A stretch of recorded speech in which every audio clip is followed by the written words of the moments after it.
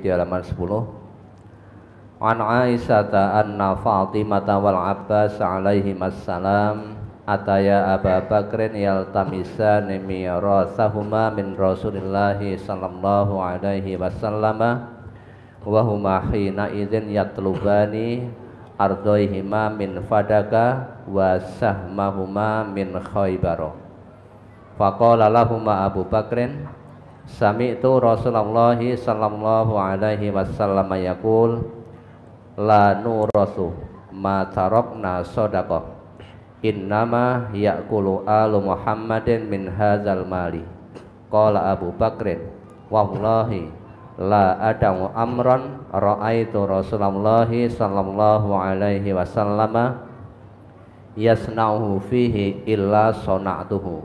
Qala fahajarathu fatimatu falam yukallimhu hatta matat rawahul bukhari dari Aisyah bahwasanya Fatimah dan Abbas alaihi wassalam datang kepada Abu Bakar untuk meminta bagian warisan keduanya dari Rasulullah sallallahu alaihi wasallam. Ketika itu keduanya meminta tanah bagiannya di Fadak dan bagiannya di Khaybar. Maka Abu Bakar menjawab, Aku pernah mendengar Rasulullah sallallahu alaihi wasallam bersabda, kami tidak diwarisi dan harta yang kami tinggalkan sebagai sedekah dan keluarga Muhammad hanyalah makan dari harta ini. Lanjut Abu Bakar, demi Allah, aku tidak akan meninggalkan suatu urusan yang aku pernah melihat Rasulullah Sallallahu Alaihi Wasallam memperbuatnya, melainkan aku juga memperbuatnya Urwah berkata, semenjak itu Fatimah menjauhi Abu Bakar dan tidak pernah mengajaknya bicara hingga wafat. Hadis riwayat Bukhari. Mohon penjelasan pada kalimat yang akhir semenjak itu Fatimah menjauhi Abu Bakar dan tidak pernah mengajaknya bicara hingga wafat. Hingga wafat. Ini mohon penjelasan. Jadi Fatimah putri Rasulullah ketika ayahandanya yaitu Rasulullah wafat Fatimah merasa sebagai ahli waris itu merasa berhak mendapatkan warisan dari apa yang ditinggalkan oleh ayahandanya. Kemudian datanglah kepada Abu Bakar mempertanyakan tanah yang di Fadak dan juga di Khaybar. Tetapi Abu Bakar menjawab, La nurasu, kami tidak diwarisi. Ma sodakoh. Apa yang kami tinggalkan itu adalah sedekah. Kemudian Abu Bakar bersumpah wallahi la ada'u amran. Sungguh aku tidak akan pernah meninggalkan satu urusan yang mana aku melihat Rasulullah pernah berbuat padanya kecuali illa sona'tuhu. Aku juga akan berbuat demikian. Artinya para nabi, para rasul itu memang mendapat keistimewaan dari Allah.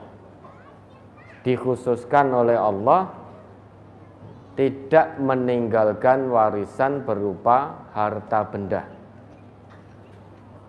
Innal anbiya'a lam yuwarrithu dinaron wala dirhaman wa innama warrasul ilmah. Tetapi para nabi itu mewariskan ilmu. Ini kekhususan Allah kepada para nabi dan rasulnya. Sehingga nabi dan rasul itu memang tidak meninggalkan harta benda. Setelah beliau-beliau ini para nabi, para rasul wafat, harta yang menjadi peninggalan beliau tidak menjadi hartanya ahli waris tetapi menjadi sedekah untuk kepentingan sabilillah. Karena yang ditinggalkan para nabi, para rasul itu adalah ilmu. Nabi kita Muhammad meninggalkan ilmu, mewariskan kepada umatnya ilmu. Kalau kita pegang teguh pada keduanya, tidak akan pernah sesat dunia, tidak akan pernah sesat akhirat. Itu jaminan dari Nabi. Taraktu fikum amroini lan tadhillu ma masaktum bihima. Kitab Allah wa sunnata nabiyyihi. Telah aku tinggalkan pada kalian dua perkara. Jika kalian pegang teguh kepada keduanya, lan tadhillu niscaya kalian tidak akan sesat selama-lamanya. Apa yang diwariskan oleh Nabi kita? Kitab Allah wa sunnata Nabi. Yaitu kitab Allah, Al-Quran maksudnya, dan juga sunnah Rasulullah Sallallahu Alaihi Wasallam. Nabi memang tidak meninggalkan harta sebagai warisan. Warisan beliau itu ilmu. Para nabi, para rasul mewariskan ilmu, tidak mewariskan harta benda. Man akhadha bihi akhadha bihaddin wafir. Barang siapa yang mengambil warisan dari nabi itu dengan jumlah yang banyak, sungguh dia telah mengambil warisan dari nabi itu dalam jumlah yang banyak. Selamat dunia, selamat akhirat. Kalau warisan dunia saja belum tentu menyelamatkan di akhirat. Tapi kalau mengambil warisan dari Nabi yaitu ilmu pasti selamat dunia, selamat akhirat. Nah, kemudian Abu Bakar menjawab dengan tegas pada Fatimah bahwa Abu Bakar pernah melihat apa yang dilakukan oleh Nabi dan Nabi ngendiko la nurasu kami tidak diwarisi matarokna sodakoh. Apa yang kami tinggalkan itu sebagai sedekah untuk kepentingan sabilillah. Maka Abu Bakar pun tidak memberikan tanah yang di Fadak maupun di Khaybar kepada Fatimah putri Rasulullah. Mendengar jawaban itu dengan sedikit rasa kecewa, Lantas Fatimah meninggalkan Abu Bakar. Dan belum ya, belum berbicara lagi dengan Abu Bakar sampai Fatimah meninggal dunia. Ingat hadis itu bunyinya lam tukallimhu bukan la tukallimuhu tapi lam tukallimhu memakai lam itu bukan memakai la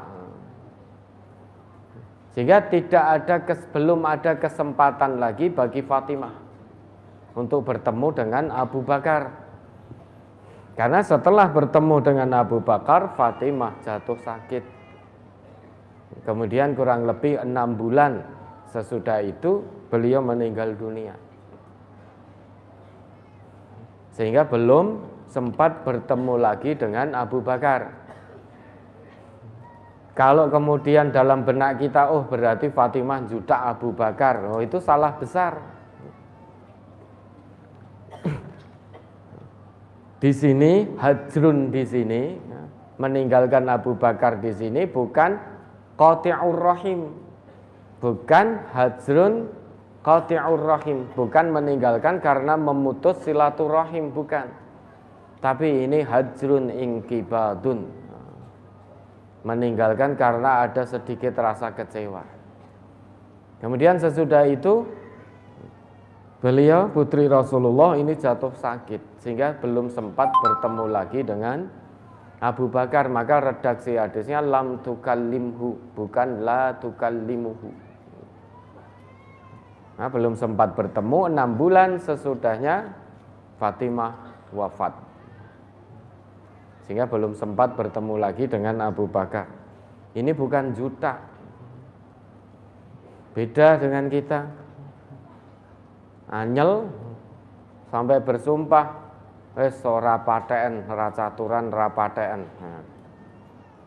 Betah-betahan. Nah. Ini namanya juta. Kalau yang kita lakukan itu qati'ur rahim, bukan hajrun ingkibat namun qati'ur rahim memutus hubungan persaudaraan, memutus tali silaturahim. Kalau itu yang dilakukan, maka Nabi ngendika la yahillu li muslimin ayah jura akahu fauqa salasi layalin.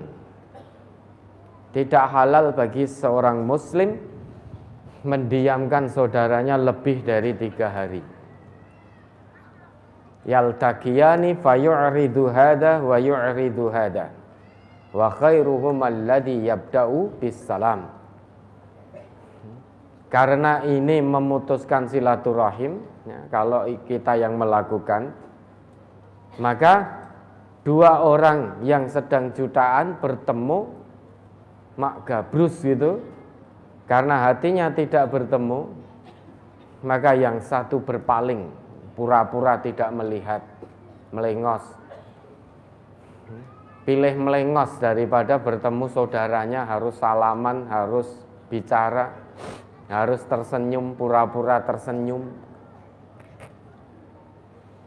Orang kedua juga begitu.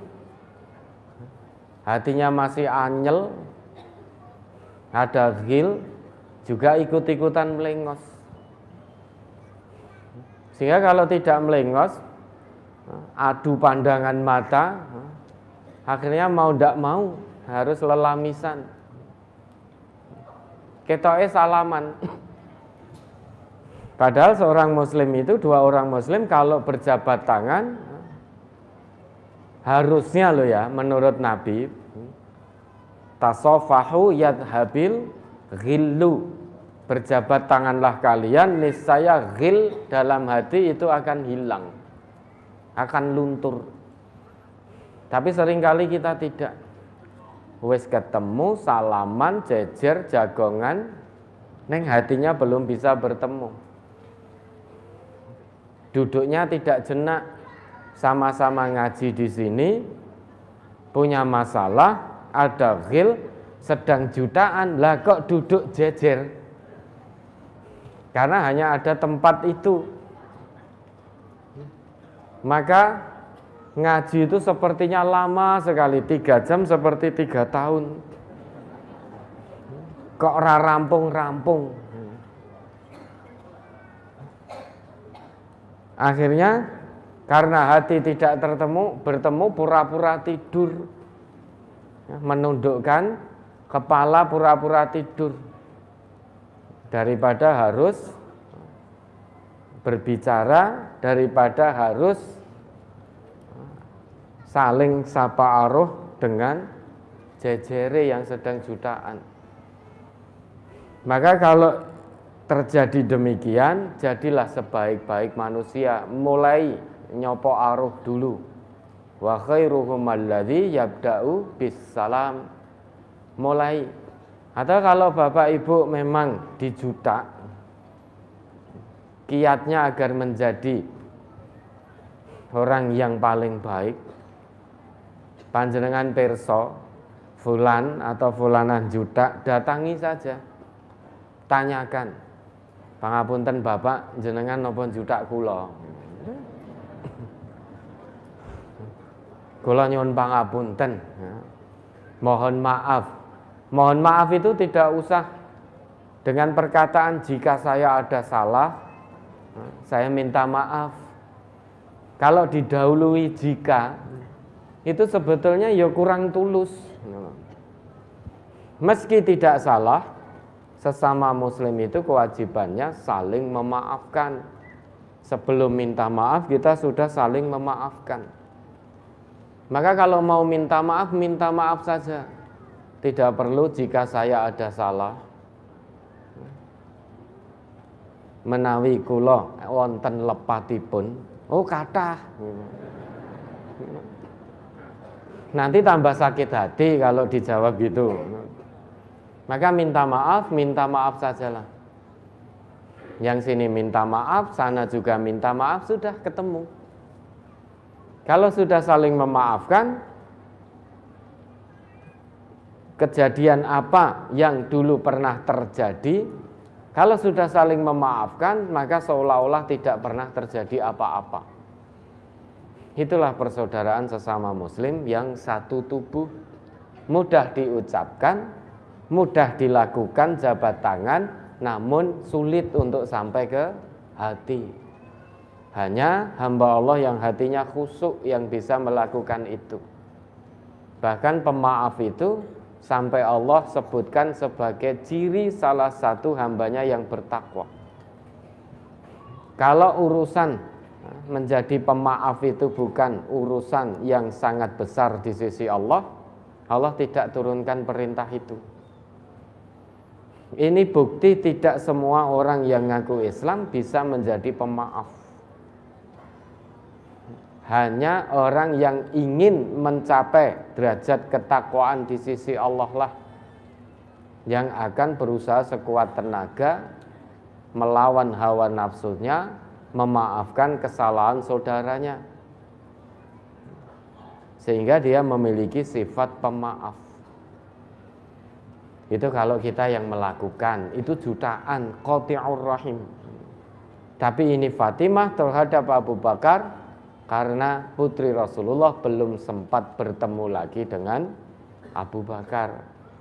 Jatuh sakit enam bulan setelah Nabi wafat maka Fatimah pun juga wafat meninggal dunia. Sehingga memang ada rasa kecewa sedikit sehingga meninggalkan Abu Bakar namun bukan berarti meninggalkan dalam arti memutus hubungan bukan belum sempat bertemu, Fatimah jatuh sakit. Sampai kemudian meninggal. Ya, ada lagi.